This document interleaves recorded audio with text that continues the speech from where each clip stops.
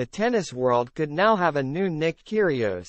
Andy Murray's ex-coach Darren Cahill believes tennis has a new Nick Kyrgios in the shape of American ace Ben Shelton.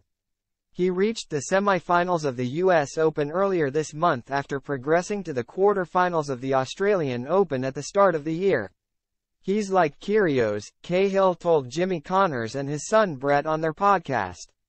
You like Kyrgios, you hate him, I don't care. On the tour, he brings something different and people will go out and buy a ticket and watch these guys play. And Ben brings a real joy in what he's doing on the court. He's not scared, he doesn't care who he is playing.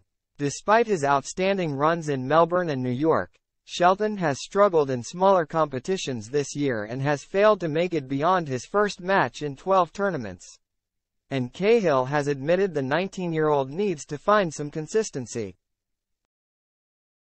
Incredibly brave in the big moments, he was certainly playing to the crowd, enjoying the crowd, the Australian added.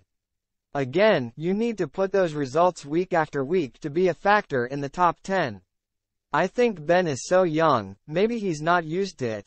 Maybe a little bit too many expectations came onto his shoulders after the Australian Open. Now we're going to see Ben consistently improve every week. I am not saying he's going to race into the top 5. I think eventually he's a definite top 10 player.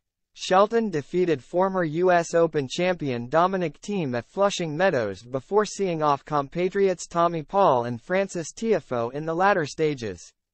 But his run was finally brought to an end by Novak Djokovic, who subsequently mocked the teenager for his phone-slamming celebration. And following the semifinal contest, the American said, I don't like when I am on social media and I see people telling me how I can celebrate or can't celebrate. I think if you win the match, you deserve to do whatever you want. As a kid growing up, I always learned that imitation is the sincerest form of flattery, so that's all I have to say about that.